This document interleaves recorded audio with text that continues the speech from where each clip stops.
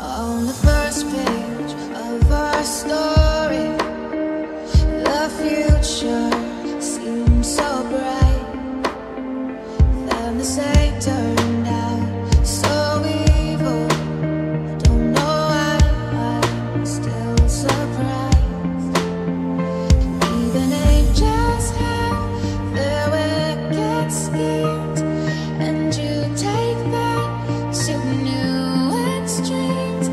But you're